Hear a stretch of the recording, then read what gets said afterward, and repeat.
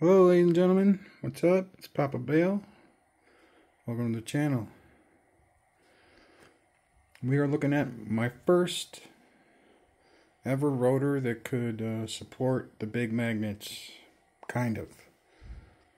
So we got our little base magnet, and we got the big magnet kind of magnetically glued to it.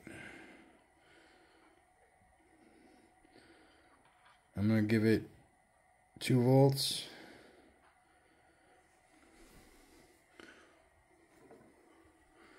And give it a whirl.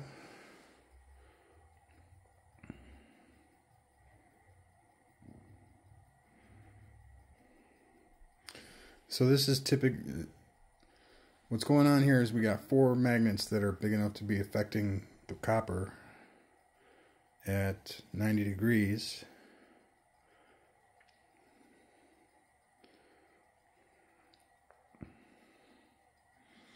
So this is your uh, four magnet rotor at 2.15 and this will go between 0 and 0.1.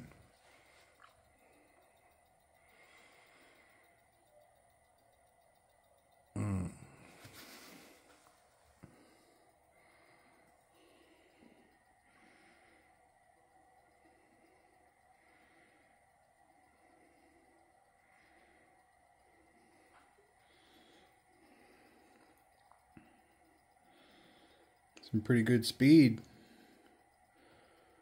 This is my one the first rotor that I that I made. Like I said, it is very smooth. Just the magnets on the outside are a little a little off. It's been redone so many times. I don't know understand like how it's still able to hold everything together the way it does.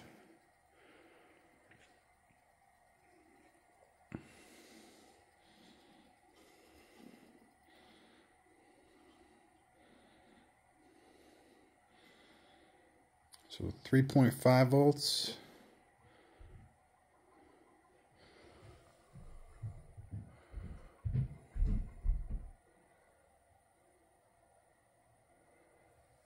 Heck yeah, this baby's whipping.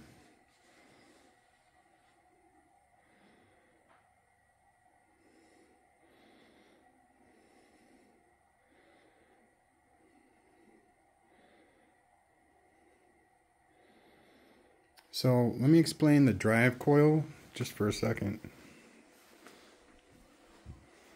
Uh, you have four strands of 24 gauge, four strands of 26 gauge, and two strands of 30 gauge. And they are all hooked up to their own transistors right now. There are 10 transistors hooked up.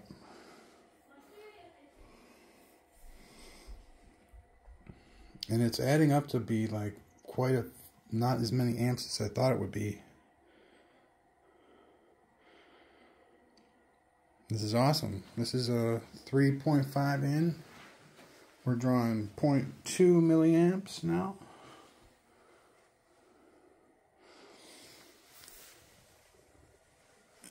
It's got a maglev just kind of floating there.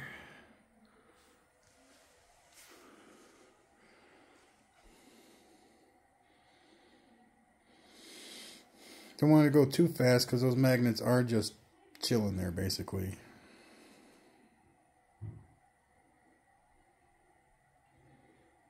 It's awesome.